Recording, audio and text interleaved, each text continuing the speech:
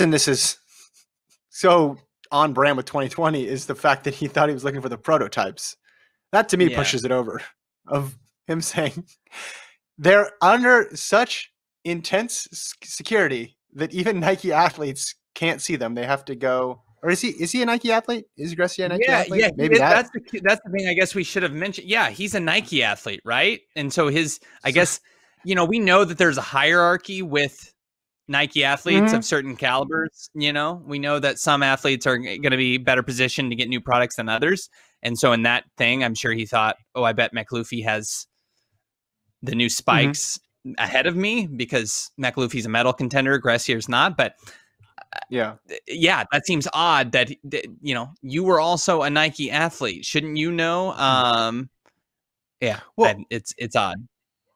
If he really wanted to set the world on fire, what he should have said is, I shouldn't have been snooping around. I went into his bag looking for the prototypes. What I saw were all these products that I was suspicious of, but the most dangerous thing in the bag was actually the spikes and what it tells us about track and field today.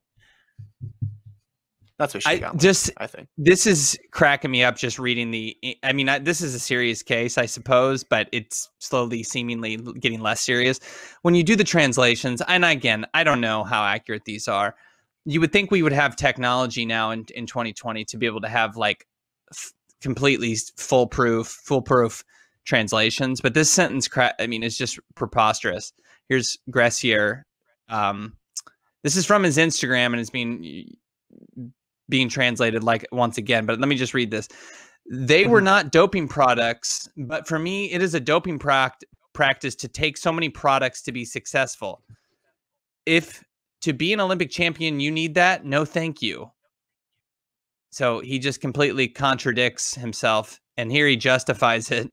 Quote, I'm very proud of it. I did a good deed. I try to make my sport as clean as possible by clearing all the cheaters at my humble level for a cleaner sport, I think you have to open your mouth.